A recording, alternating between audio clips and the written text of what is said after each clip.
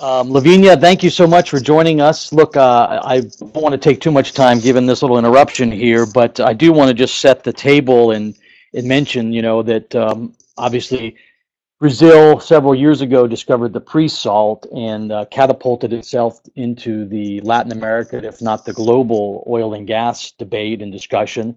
And that was uh, well into the um, opening of the sector, which had held several bid rounds. And at this point, Brazil is second only to Venezuela in oil production in South America. So I think it's important to put that into context of our discussion today. And also, obviously, we're going to get into a little bit of what happened in October with the 13th bid round, which by most accounts was a disaster and, and, and uh, the fewest bids uh, in over a decade in terms of um, uh, companies offering uh, on the blocks tendered. So I think there's several pieces of that uh, that we'll get into. The local content issue, obviously, the unfolding scandal there in Brazil associated with the National Oil Company and the variety of service companies and of course the economic backdrop uh, and, and the oil price on a global scale. So we're delighted to have this conversation, and we're especially happy to uh, be joined by Lavinia Hollanda, who is the head of research at FGV Energia, and she's held that position for two years now. Before that, she was a professor at FGV, which is the Fundação Getúlio Vargas in Rio de Janeiro, which I'm sure many of you are familiar with, and it's been around for a long time and, and has some uh, cutting edge research. We're happy that they've now created an energy program, and Lavinia is head of research at that energy program.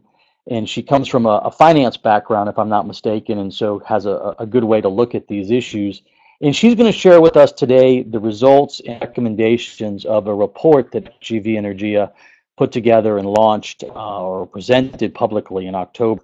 And so we're happy to, to be able to continue this conversation on the oil sector and the outlook for the oil sector in Brazil and the results and, and analysis that FGV Energia has done as part of their uh, research paper or, or, or product uh, that they put out in October. So Lavinia, hopefully uh, everything's working okay now on the audio and uh, I think the visual looks just good. We've got your presentation. So I'm going to hand it over to you. Thanks so much for sharing uh, your results and recommendations with us and your time this morning and afternoon in Brazil.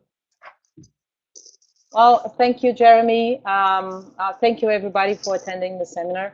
Um, so first, I would like to thank the Institute of the, the, Americas for this opportunity, and especially Jeremy, Alexis, and Diana for the help and support with the technical, you know, issues uh, and tests. Um, so the idea here uh, is to present some of the recent developments in the Brazilian oil sector and uh, discuss some of the challenges the industry faces for the future, particularly in 2016. Uh, I have a very short presentation. I'll try to leave enough time for the Q&A session. So I'll first um, present an overview of the industry and try to uh, build a context on how we got here. Uh, after that, I'll discuss how the conditions have changed dramatically in the rest, recent past. So turning into a perfect storm and what is expected uh, in the foreseeable future.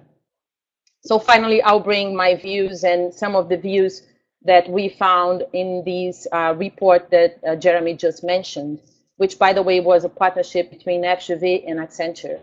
Uh, and, and then what would be the next steps and, and, and, and how, what kind of challenges we, we will face to implement the needed reforms.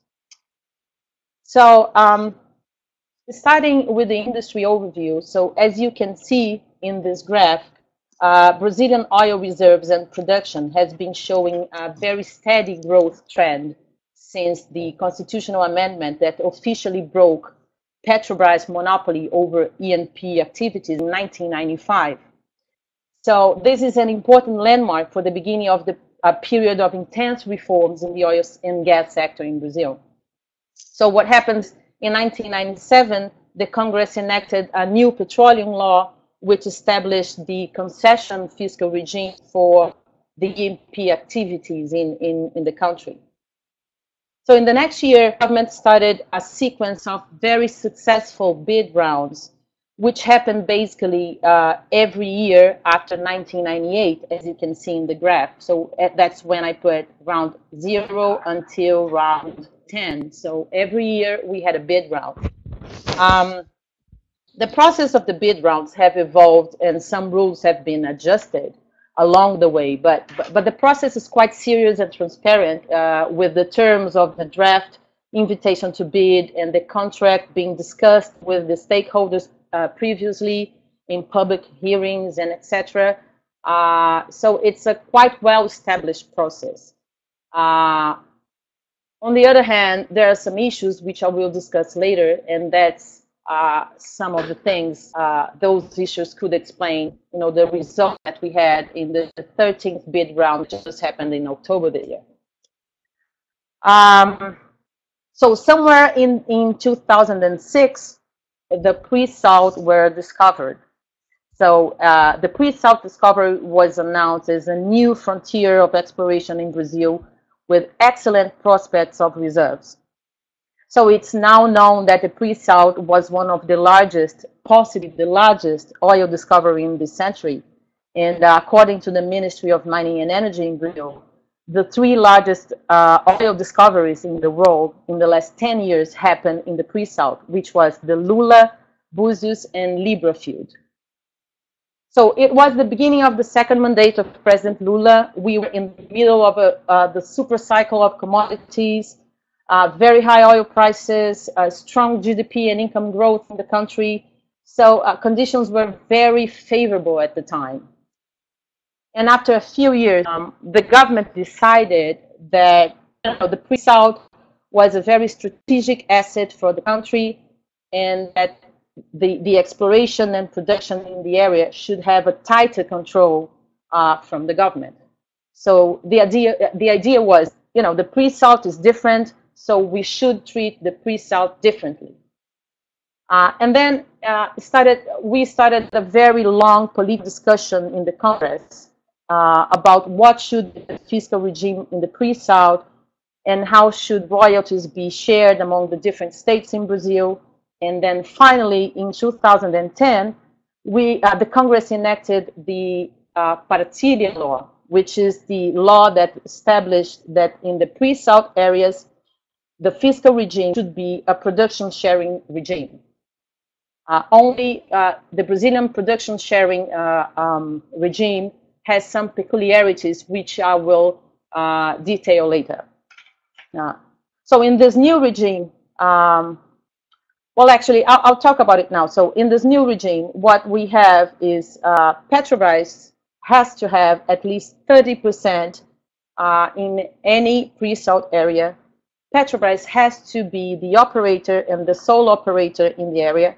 And also a new uh, state company called PPSA uh, was created to represent the federal government interest uh, with power to intervene in the development plan and, and, and this state company should be carried by the other uh, companies that participated in the, uh, in the venture, in the pre-salt. So um, in 2013, we have the first pre-salt bid, uh, Libra, with only one consortium bidding in the auction. And in 2014, we resumed the bid rounds for the other areas, still under concession regime, with this 12th uh, uh, bid round. So in October this year, we had the 13th bid round. So you, as you can see in the graph, we spent uh, roughly five years without offering any areas for E&P, uh, basically due to the discussions uh, regard, regarding the pre-salt. In the meantime, uh, shale production uh, in the U.S. was uh, was pacing up quickly, and then the the discussion on climate change was becoming more intense, and we we just have had a window of five years that we basically lost without having any bid rounds. Okay, so what happens is, uh, in summary, in the period 2003-2014, we had a conjunction of good news. So we have a very positive macro scenario in Brazil. We had high oil prices. Uh, we had a pre-salt discovery and uh, Petrobras was in a very strong position, both strategically and uh, financially well, with very good access uh, to financing. The problem is that these excellent news somehow turned into very questionable uh, decisions, just to put it mildly. Um, the first decision was uh, Petrobras investment plan, which became quite bold with annual investments reaching as high as $45 billion, which is the highest uh, uh, in, among the oil industry uh, globally.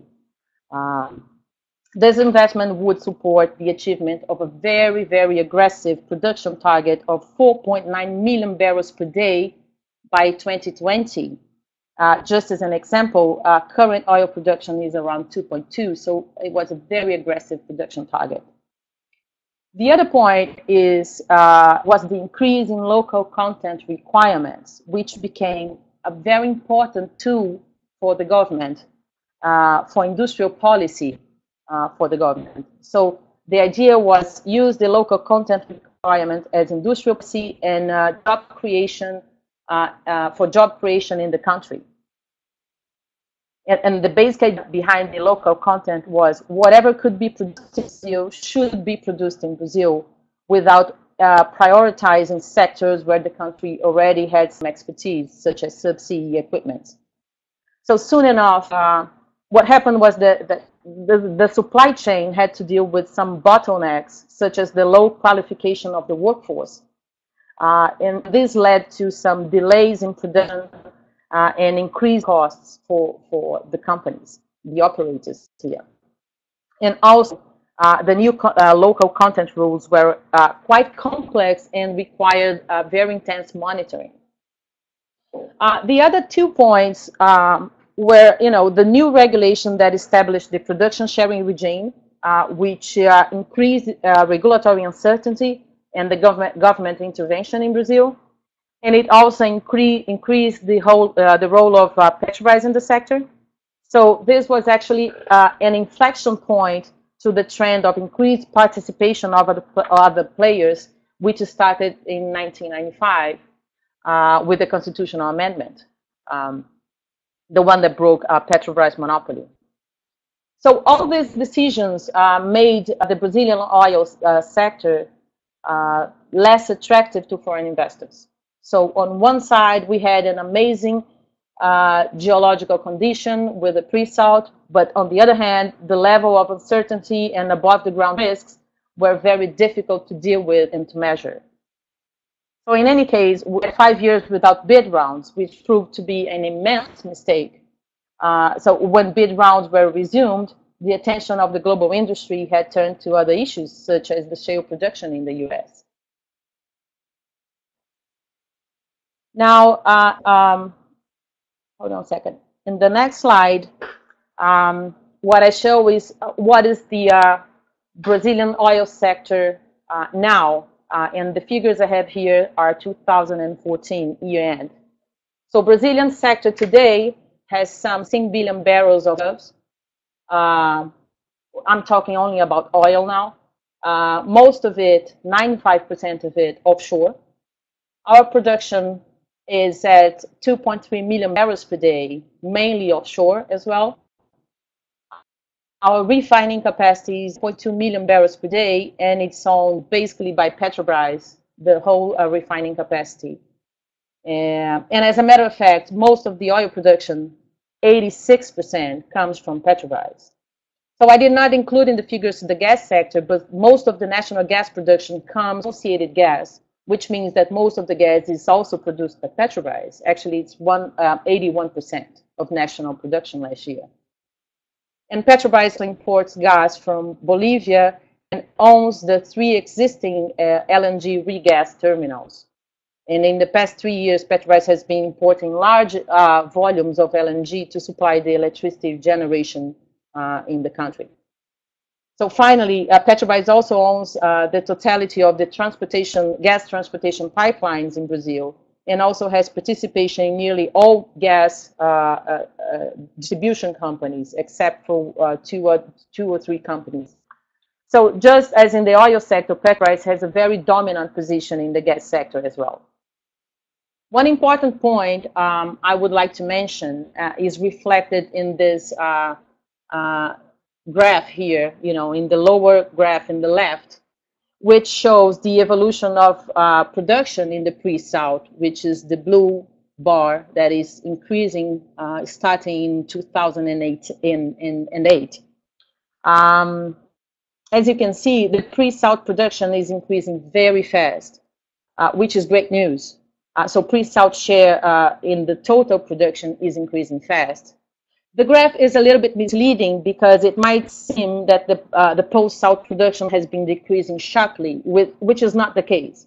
But uh, with ups and downs, what happened is the post-salt production increased only 8% uh, in the whole period between 2005 and 2014.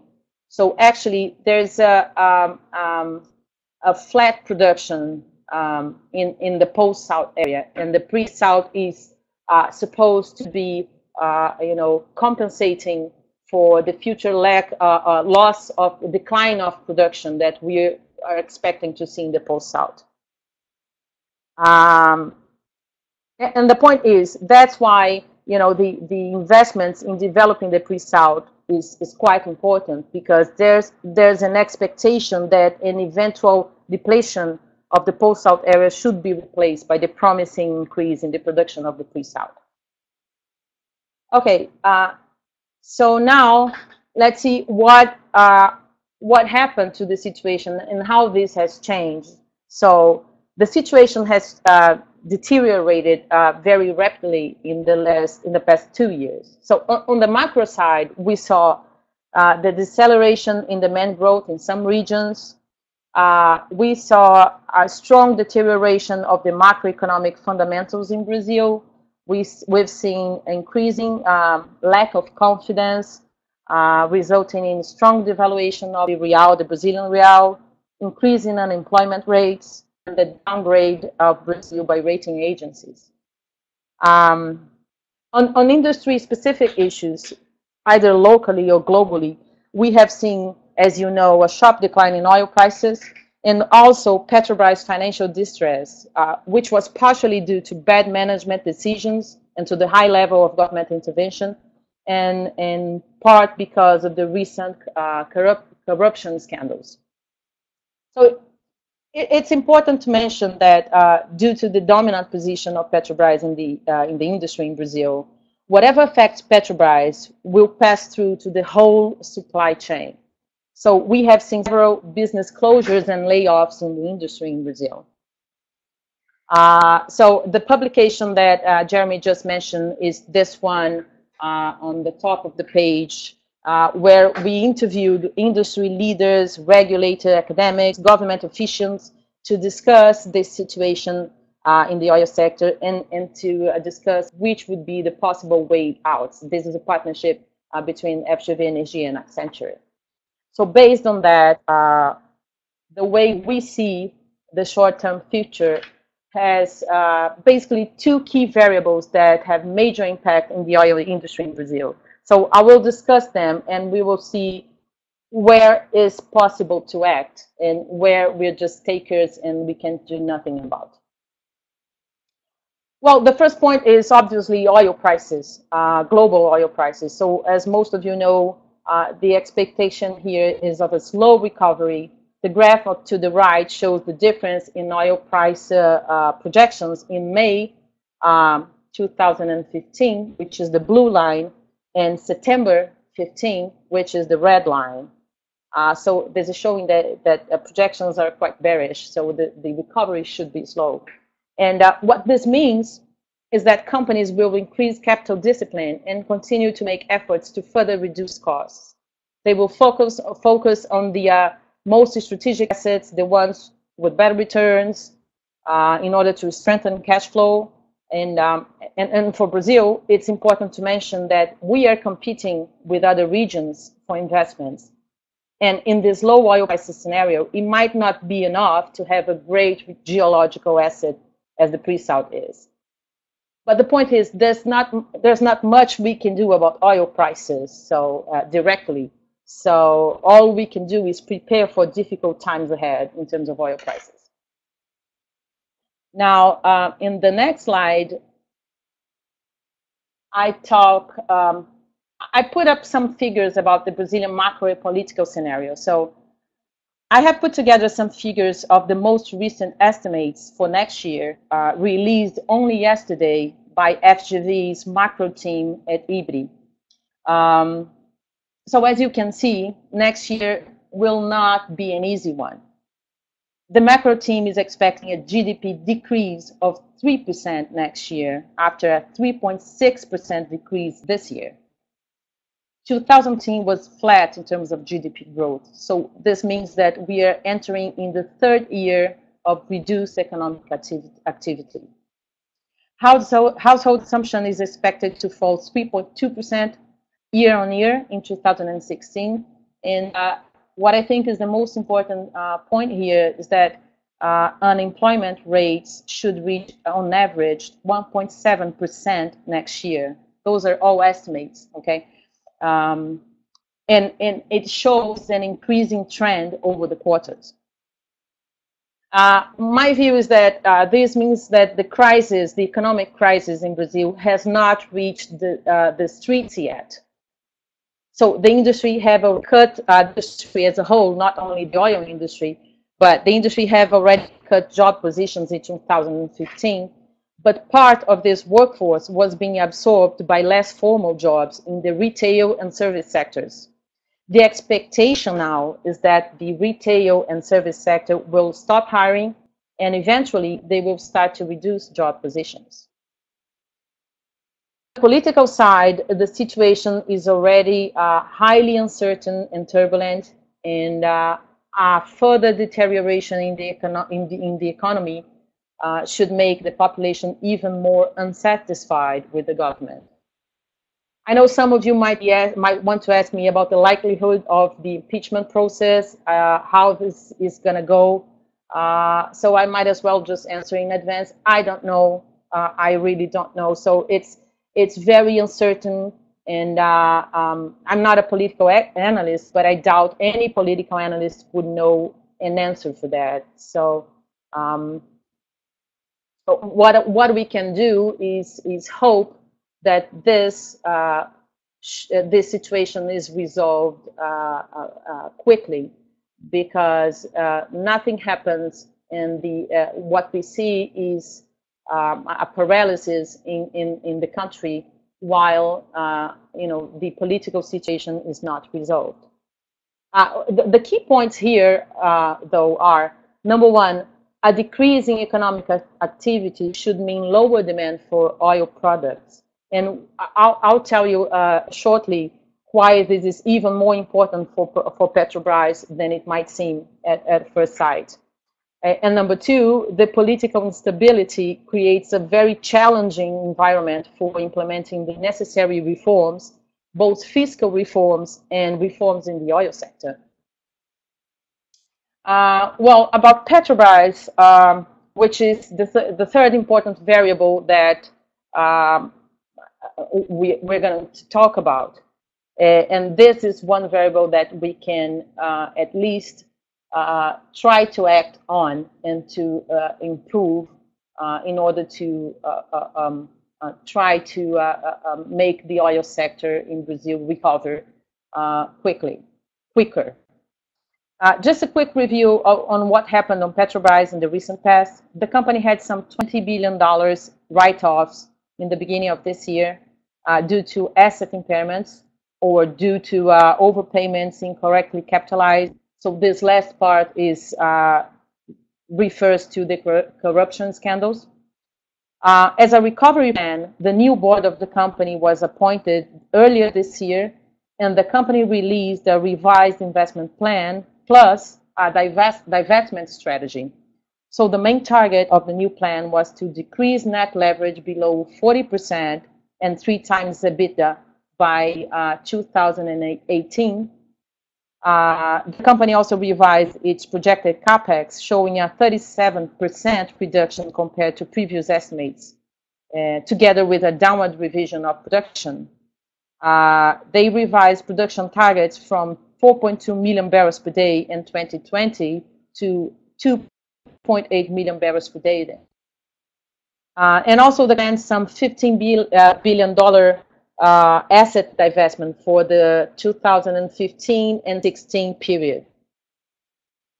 Well, uh, happened uh, is that the actual achievements were much lower than expected. Uh, third quarter results this year showed net debt at 5.2 times EBITDA. Um, the company is having also a huge uh, difficulty in accessing the capital markets after the downgrade. So in September this year, for example, the company unsuccessfully tried to issue 3 billion reais, which is about um, uh, 800 million dollars in debentures in the domestic market, and this just not didn't happen. The rate offered was higher than actually than the rate that uh, Vale. Sorry, a second. So the rate offered in that debenture placement was higher than the rate that Vale, the company Vale, uh, offers for their debentures, and it was one success Petrobras. Um, also, out of the $15 billion divestment plan for uh, 2015 and 16, only about 1 billion was achieved, leaving the remainder for 2016. Uh, this was well below the target, and the reason might be that the controlling shareholder insists in selling minority stakes. Uh, so now let's get back to the economic activity uh, and let's explain why this is, uh, this slowdown in economic uh, economic activity is quite important for Petrobras. So this will mean lower demand for oil products and for Petrobras because domestic oil product prices kept above international prices in order to help the company to build uh, cash flow. Uh, what will happen is this will affect even more Petrobras.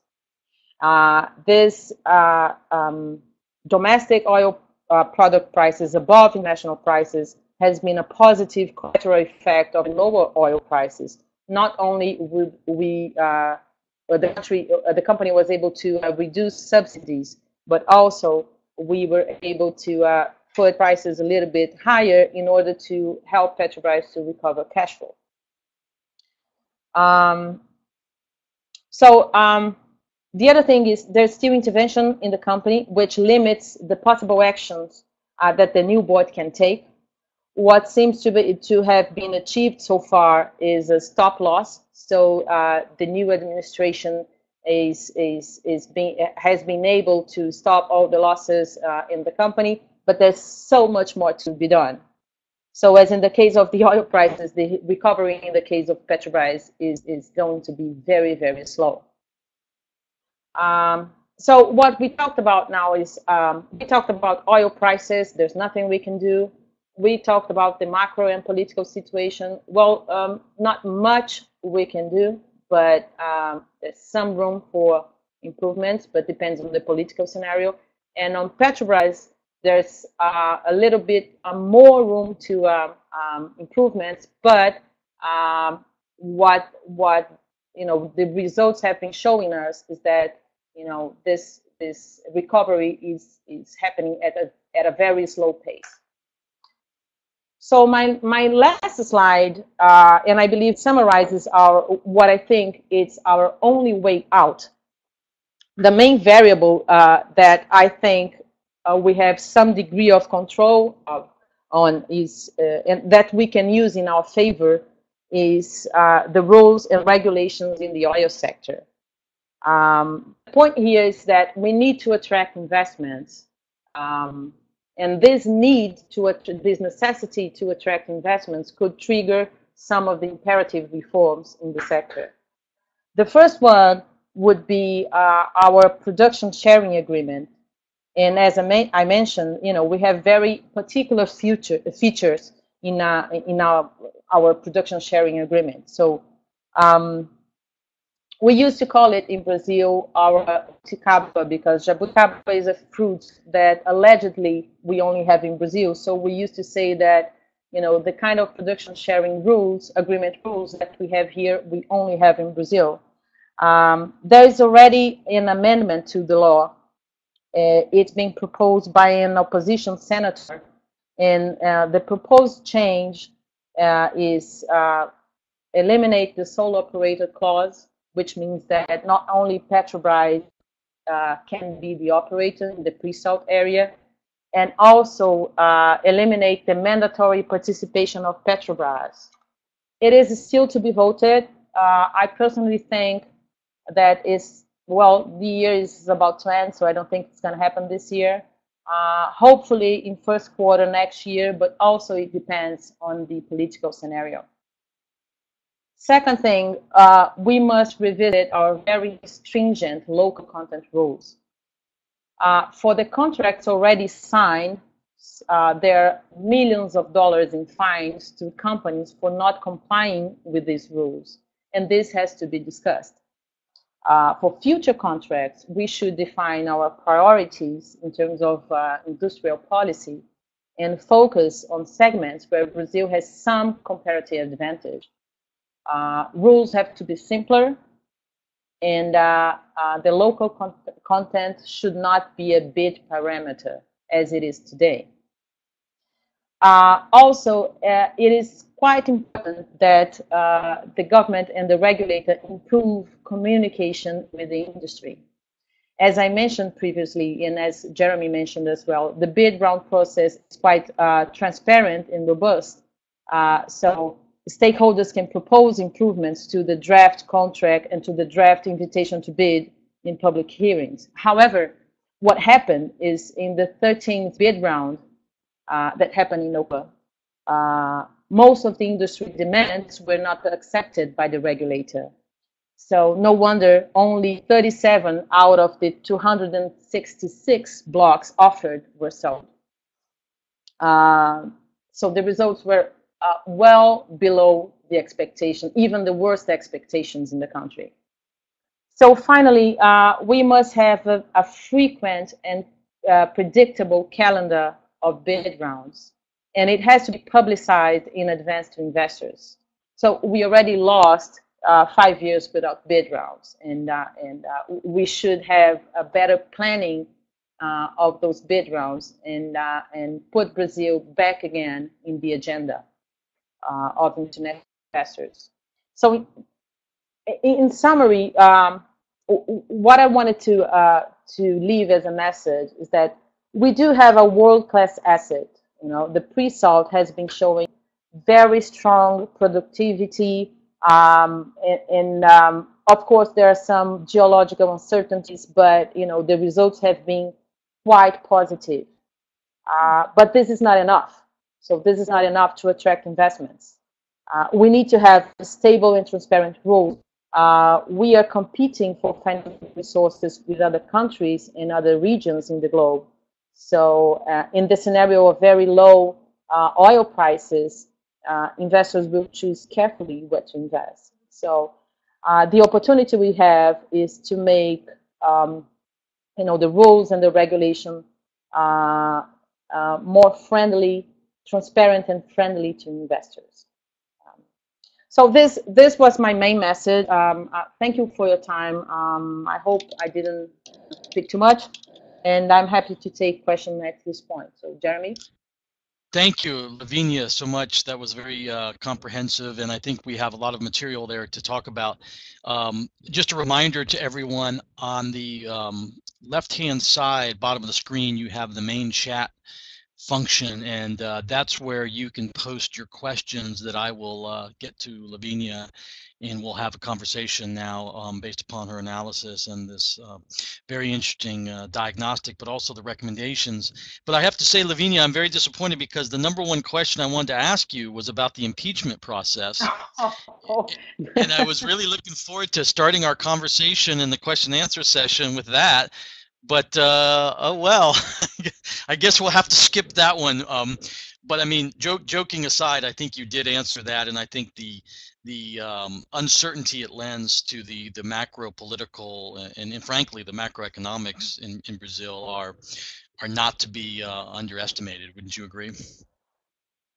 Mm-hmm.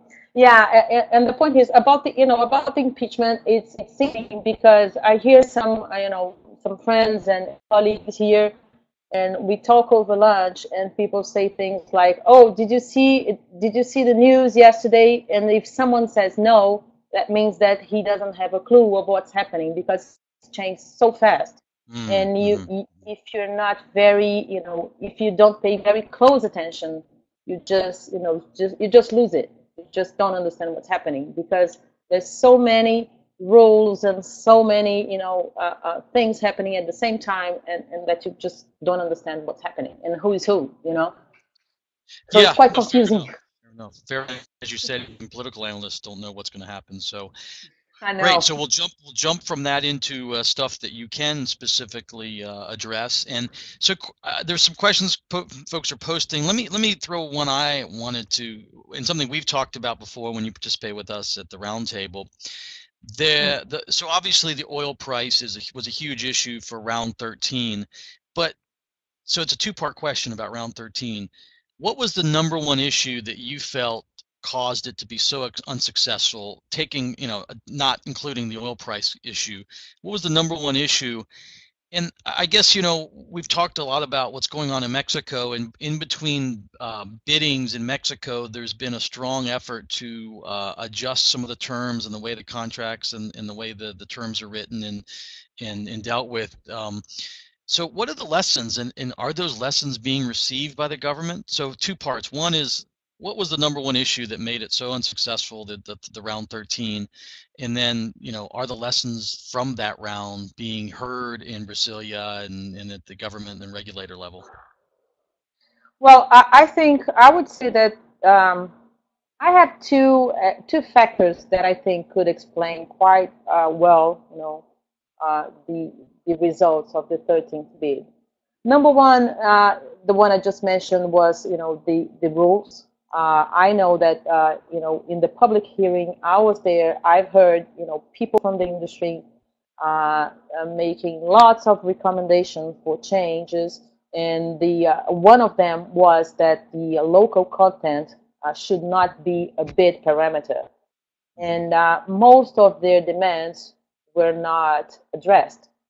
You see, so this is one thing. I mean, the, the regulation is not is not really uh, stable, so it might.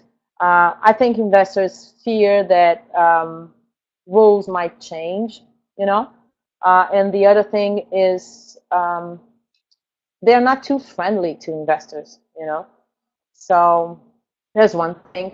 And the other thing is, well, in uh, the way I think the um, oil price might have affected, you know, the the interest is is quite indirect.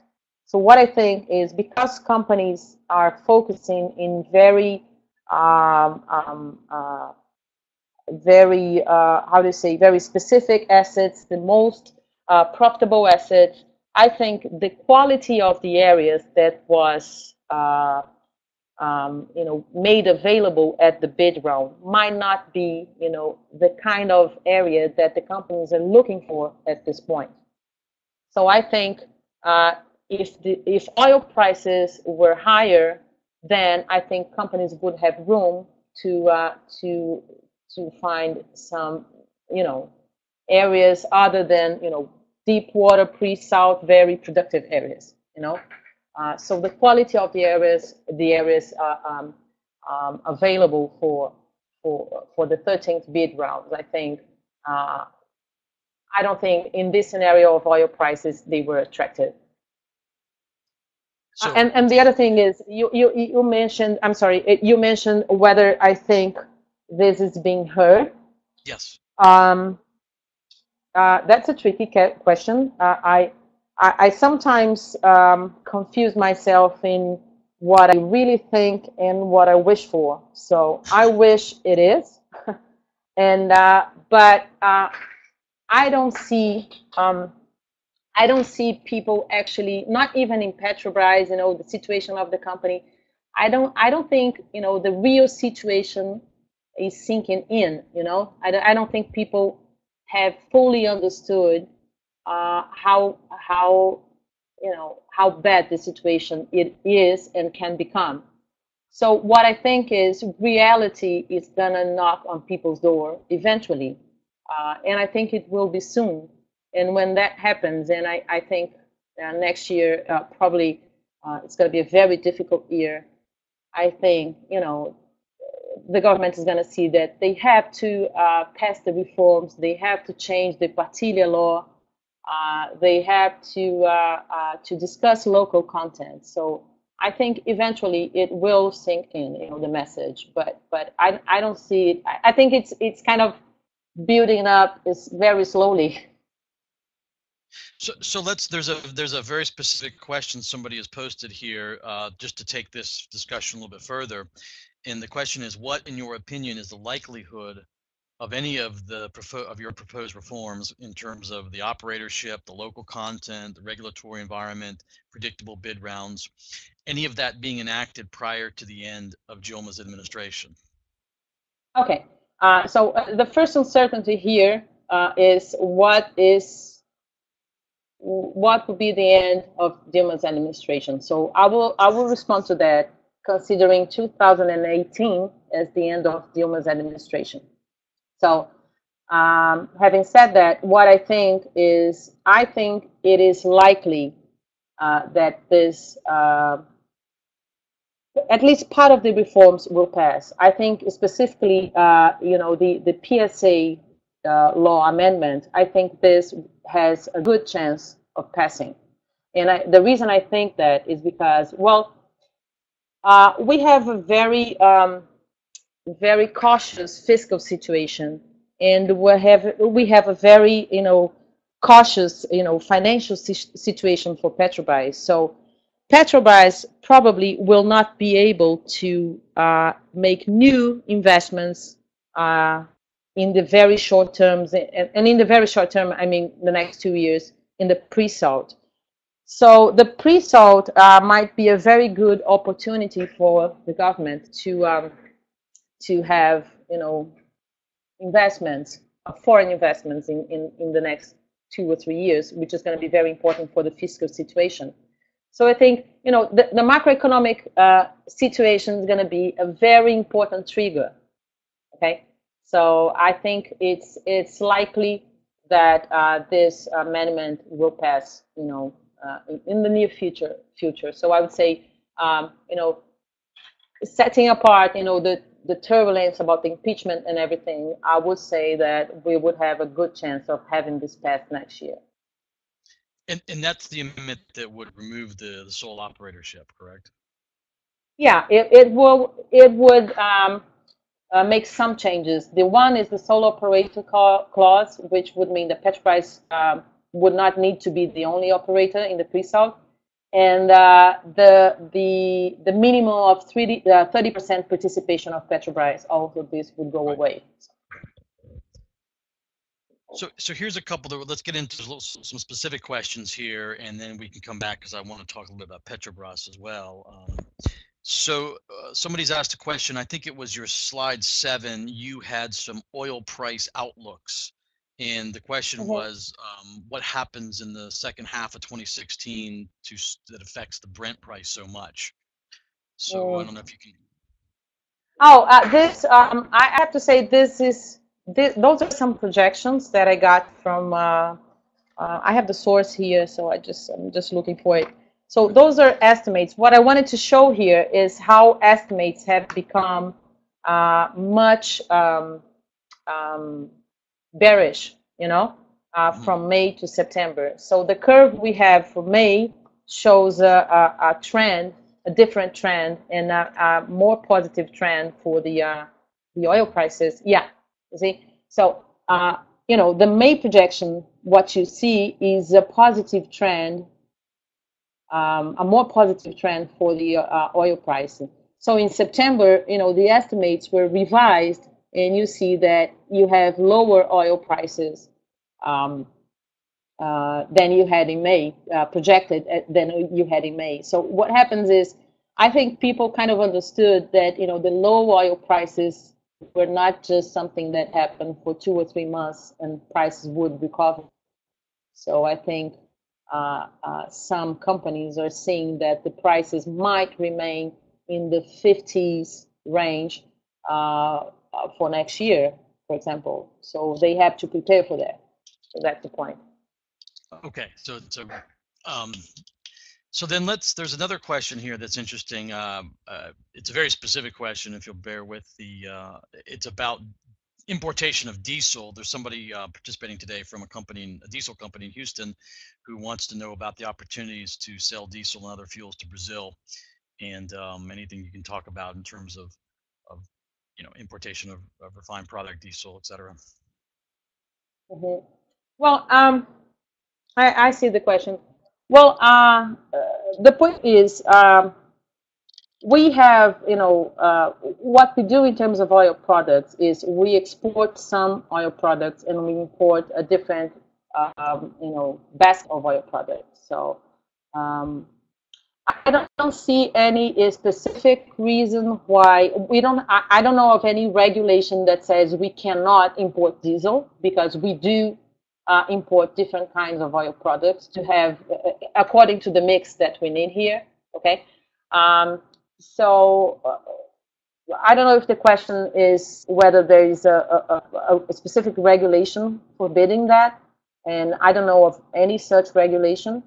Um, uh, one of the things I, I would, you know, uh, think about when I, I, I read something like that is the fact that, you know, with with the COP21 or the Paris, uh, you know, agreement, uh, we have a very big biofuels program and I think uh, if Brazil, and I think Brazil is serious about the target, uh, I think we will see an increase in the biofuel sector, uh, a growth in biofuel sector uh, in the future. So, um, well, we might see, you know, some competition between, you know, oil products and gas for transportation and uh, biofuels uh, in the transportation sector in Brazil in the future.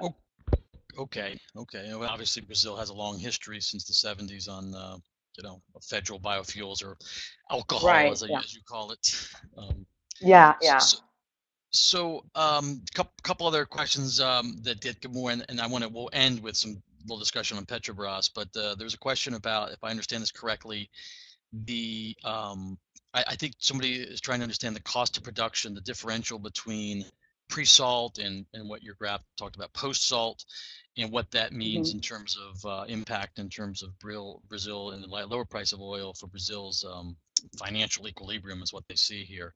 Hopefully, maybe you can explain uh-huh. a little bit the difference differential in cost of production and what that means in terms of Brazilian economy, especially in the low price environment.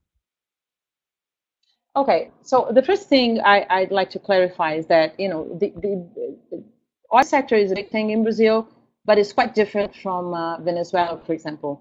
Uh, Brazil is uh, the fiscal um, accounts in Brazil are not too dependent on the oil sector. Obviously, it affects because it's a big sector in Brazil, but it's not uh, the same case as other uh, producing countries or exporting or OPEC countries, where you know the fiscal break-even of the oil price is quite important. So that's not the case in Brazil it does affect the fiscal uh, accounts in Brazil, but it's not uh, quite as bad as in other countries. That's one thing. Um, the other thing about the pre-salt is, well, uh, from what I, I talk to the people, you know, in the industry, what is happening, petro, uh, the pre-salt is, is, is showing to be very productive. So the uh, the most uh, the greatest production uh, product uh, producing well in Brazil, the most productive is is already a pre-salt um, well. It's in in Libra. Okay, so the production is is, is quite um, is is is showing to be more positive the level of production than people expected before, and on the cost side. Uh, also, what I have uh, as a, a, figure from, from the people in the industry is that costs are better than they expected. So I've heard figures around uh, uh, the pre-salt holding production at any price above $40. So at $40 would be a break-even price for pre-salt. Wow. Uh, well, of course, there's lots of geological uncertainty. So it's uh, we still need lots of investments and uh, we don't know how you know the reservoir is going to behave. So, but at this point, you know, the prospect is very positive for the pre-salt. Uh, the point about carrying the pre-salt with the, um, uh, the post-salt uh, area is that on the other hand, on the negative side, what I also hear is that the post-salt area and the, the Campos Basin is showing a stronger decline in production than expected. So this means uh, that the, uh, the, the, the investment in, in the pre-salt is going to be key to maintain the level of production and mm-hmm. to keep increasing production in the future. So, so that's actually positive news because at one point, you know, the projections project projections for pre-salt production seemed wildly uh, unrealistic and out of line. But, but to your mm-hmm. point, maybe things are going a little bit better than, uh, as you dig into the details, maybe things are a little bit better than, than seems to be from the from the outside. Yeah, that's and that's actually what we have been hearing from the industry. I mean, not mm-hmm. only for Petrobras, but for other people from other people in the industry people are really, uh, you know, having a very positive view of the pre-salt and, and things are better than expected. So. So this that's a perfect segue to to another question here. Uh, how does low oil prices impact the development of fields where Petrobras the leader of consortium such as Libra. So how does uh, talk a little bit about that? I think we've been talking about that. So now be specific about say, you know, one of the the, the Libra, which is the one field that was tendered to a consortium. Mm-hmm. Well, uh, uh, the thing about you know the development of Libra is that uh, I think the main point uh, about how uh, Petrobras is going to develop Libra is the fact that Petrobras is having so many difficulties in accessing the capital markets.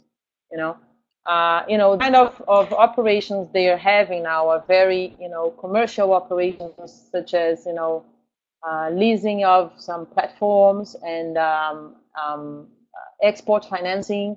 So I think uh, what is hard is that the company is very, very leveraged right now. Uh, the company is very focused in, um, in uh, you know, reinventing itself and uh, kind of reshaping what would be the strategic plan for the company and trying to div- divest from some assets. Um, and, and, and it's been so difficult to uh, access uh, capital markets. So if if, for example, if we see a, a worse situation in Brazil next year, let's say, I hope I'm, you know, nothing happens, but uh, let's say something happens, you know, uh, to Brazil in terms of uh, downgrading, a further downgrade uh, in the rating. So uh, let's hope it's not happen. But if it does, it's going to be even harder, you know. And and we we already discussed, you know, the macro situation in the country, which is, you know, it's not going to be easy next year.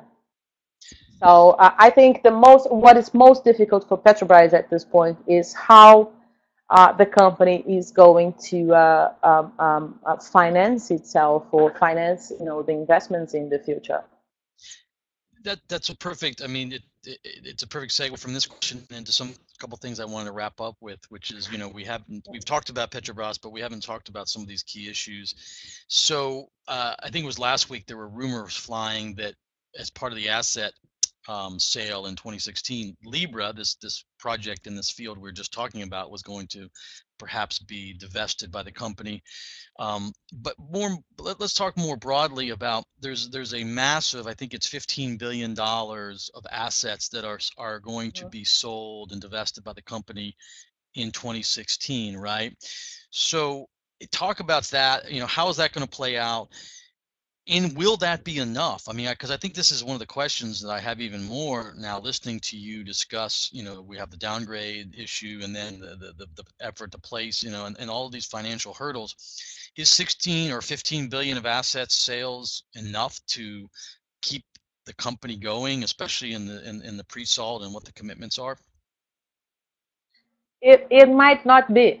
It might not be. Uh, the point is uh, first of all, the thing about you know the divestment of the pre-salt, uh, I've heard that too. I I don't believe it's going to happen.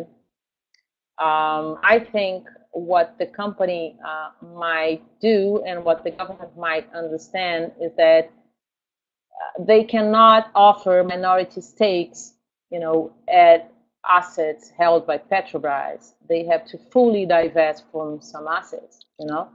So at this point, I doubt many people would like to partner as a minority shareholder with Petrobras with the risk of having, you know, the kind of government intervention we had in the past. So uh, I think what uh, uh, uh, might happen, what might need to happen is that the government and the company will understand that they have to sell, you know, the um, some some businesses as a whole and not only minority uh, participation. So that's one thing. And uh, and I agree with you. I mean, uh, it might not be enough, you know, this divestment plan. We might in the future some revision index if they do not succeed in the uh, uh, this if the, the, the situation worsen. Right. Well, I hate to end on such a a down note, but I think what it really does. They always find a way out. Yeah. I know. I know. It's. I it's, know, uh, and- I, I, it, And go the ahead, good sorry. thing is, well, I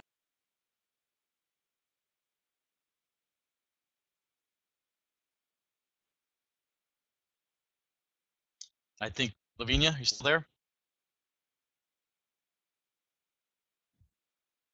Well, unfortunately, I think we, we lost Lavinia there at the very end, but um, I really appreciate her participation and hopefully she can at least hear us. And, and, and uh, thank you so much, Lavinia Hollanda from FGV Energia in Rio de Janeiro for sharing the analysis and results. have to say. Oh, you're back. Okay. We lost you for a minute.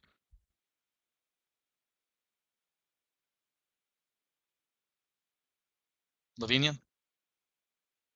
All right. Well, Lavinia's, uh, we're having last- we're having some last second technical difficulties. I want to thank her again and, and for sharing her time and, and, probably and the viewers. And I want to thank everyone for joining us. This is the last webinar of 2015. So, uh, and from the sounds of it, we will need to revisit Brazil um, throughout the year next year to see exactly how some of these key issues play out in the oil sector, gas sector, and at Petrobras. So, uh, Lavinia, thank you again so much. Thank you all very much. Oh, you you've posted on the chat. I'm sorry, our audio uh, something happened at the last minute, but better at the last minute than in the middle. Thank you all again. Thanks everyone for joining us, and uh, stay tuned as we launch the 2016 webinar series. We'll uh, we'll be back in touch early in the new year with news and uh, specific events, and of course, it's never too early to mark your calendar for our 25th anniversary of the La Jolla Conference here May 25th and 26th, 2016. Thank you all so much. Merry Christmas, Happy Holidays, Happy New Year. We'll see you online, and don't forget to uh, to follow us over the holidays at I, at IOA underscore dot energy. Excuse me, let me try that again. At IOA underscore energy. That's our Twitter feed, and of course, www.iamericas.org slash energy. Thank you. Have a wonderful day.